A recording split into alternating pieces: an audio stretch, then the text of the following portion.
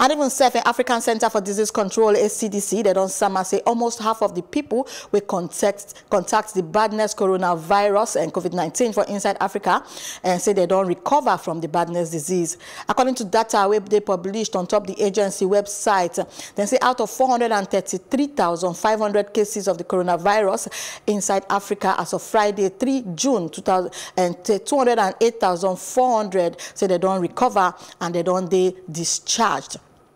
And before this report, fear being they say Africa say they no go fit cope and with this badness where they shell where many people they feel say the thing too much and it go bring uh, the continent health system to badness state.